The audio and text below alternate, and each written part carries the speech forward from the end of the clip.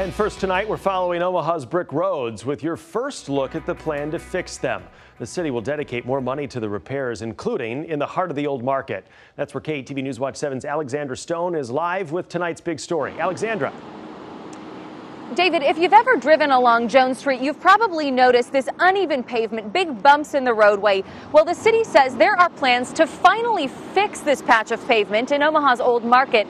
And in the meantime, this summer, crews are working on brick repair projects around the metro.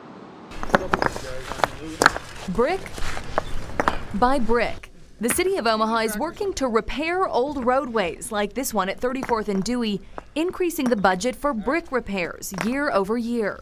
I personally blew a tire twice because uh, of the potholes that were right along the uh, curb. It's kind of nice that they're fixing those finally. The city committed half a million dollars for brick repairs this year. And construction engineer Michael Kleffner says Public Works is set to get the largest allocation yet next year with 600,000 bucks proposed for brick repair. We get anywhere from a mile out of our money up to two miles.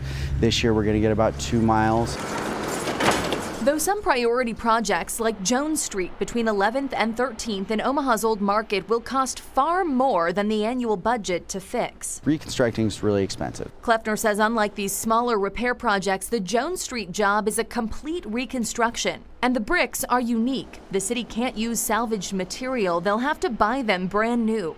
Kleffner says the price tag is estimated between four and seven million dollars. It's really been causing a lot of problems as far as like getting people into our front door. For Molly Hobson, gallery manager at Kaneko, it's been a bumpy road waiting. But they've worked with the city and there is a timeline and funding set aside. Kleffner says the city moved the project up two years, slated for completion in 2019.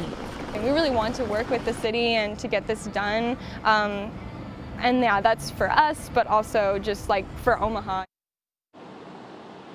Now, Kleffner says the project here on Jones Street is in the design phase. There is another public meeting scheduled tentatively for September, and we'll, of course, keep you updated on the date and time. Reporting live in downtown Omaha, Alexandra Stone, KETV Newswatch 7.